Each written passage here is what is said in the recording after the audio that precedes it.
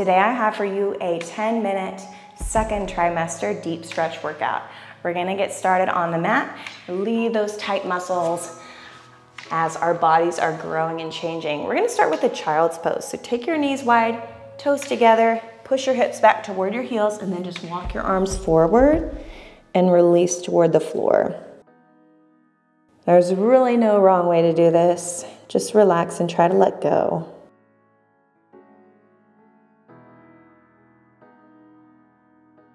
We're gonna hold each pose for about 50 seconds and then transition to the next. But feel free if you wanna stay here longer, listen to your body, whatever feels good to you today.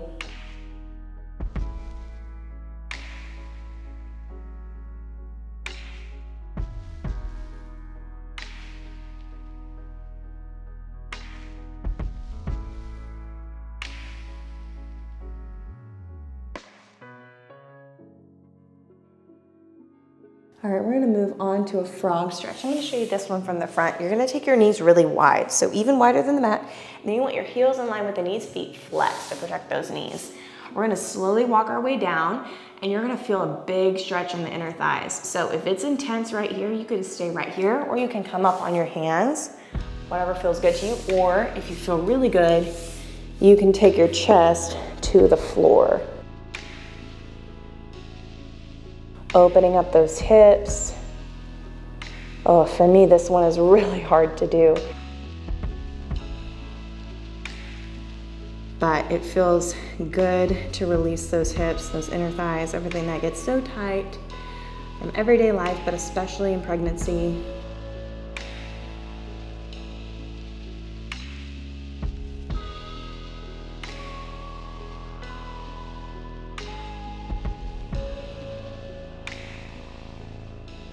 All right, we're gonna move on to a modified pigeon. So you're gonna take one leg forward and one leg back. Just like this, pulling that foot toward your inner thigh, and then you're gonna crawl forward and release. Try not to lean too much to the one side. Try to stay kind of in the middle or middle toward the leg that you're working, just slightly. I'm gonna keep that foot slightly flexed to protect the knee. You're gonna really feel that deep stretch in your hip. If you want, again, you can melt forward into that leg to give it a little deeper stretch. But like I said, for me, I am so tight in my hips, I can't take it all the way down. So just do what you can. And especially as your growing belly gets in the way, you know. You gotta modify things a little bit.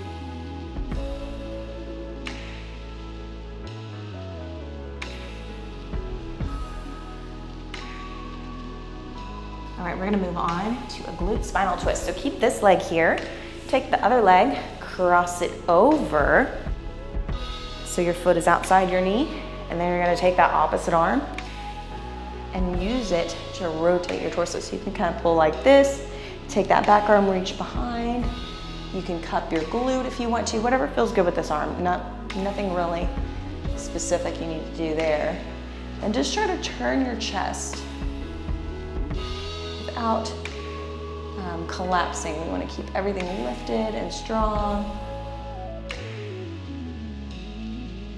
Again, great for opening up those hips.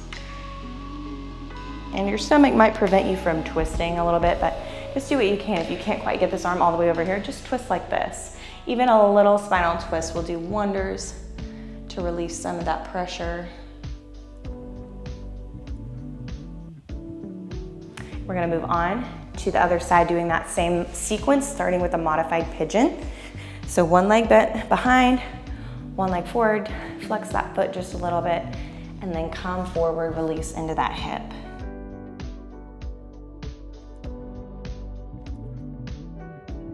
And don't forget about your breath. That's one thing I'm so bad about is controlling my breath, taking deep breaths belly breaths, not just short, shallow breaths, and just giving your body that restorative, yeah, just deep breathing that it needs. And that's really helpful for stretching and allowing everything to soften and open up and letting go of tension.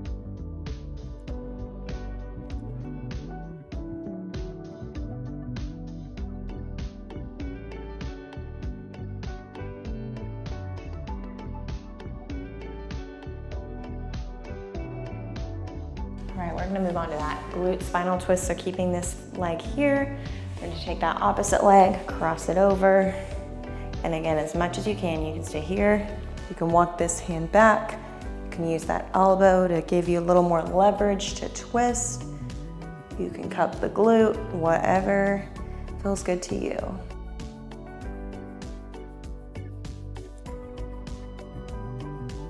Just breathing, staying calm. Close your eyes if you want to.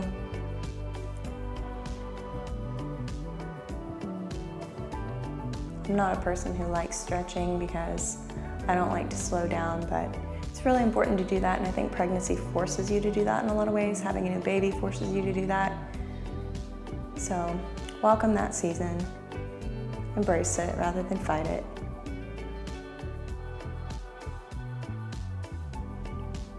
Okay, moving on to a downward dog. Everybody knows this one. So hands under shoulders, knees under hips, and I want you to tuck those toes, lift the hips nice and high and push back. And then push through the heels of your hands to try to create space in the upper back, in the shoulders. And then as you're doing that, you're gonna feel that down the back of your body, your hamstrings, your calves. Can you push your heels toward the floor a little bit more? If you can't totally understand, I get super tight my hamstrings, my calves in pregnancy and just in normal life. So if you want, you can even pedal the feet here, working those calves, releasing that tension a little bit more, trying to get them closer to the ground.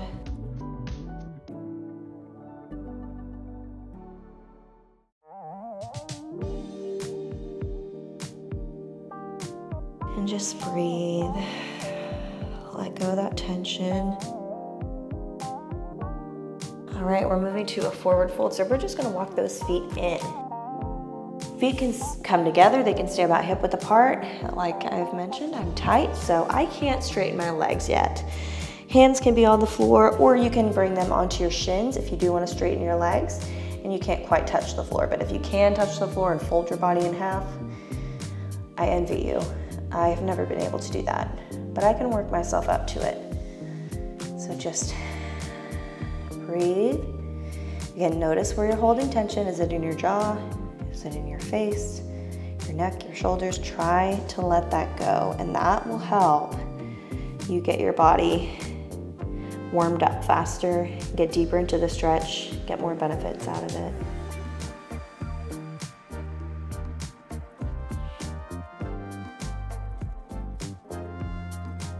A mental release just as much as it is a physical release. All right, we're gonna move on to an IT band stretch. So we're gonna stay here in this forward fold. I'm gonna have you bend the right leg, straighten the left, and then give me a twist. So I'm putting this hand on my hip to help me kind of open everything up here. You could also reach this arm up, and then I'm putting my right hand on the outside of that left shin, Keeping this leg straight, bending the opposite leg, and that's gonna help open everything up on that side of that IT band.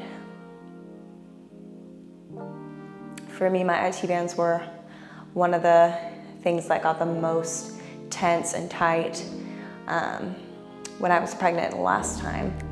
And so I know I'm gonna be mindful of that this time as I get further and further along, just taking care of those muscles are gonna get tight as I progress. Okay, release into that forward fold just for a second. And then we're gonna do the same thing on the other side, you know. So straightening the left, or bending the left, straightening the right. Take that left hand, reach to the outside of the right shin. Take that right arm, you can reach it up. You can rest your hand on your back and glute.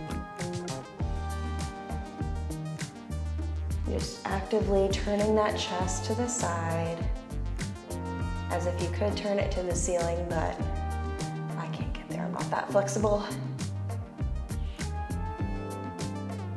Opening up those hips.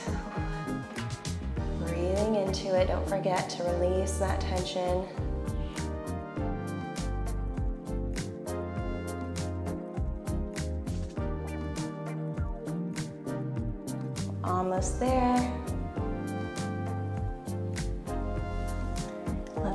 Slowly roll up one vertebrae at a time.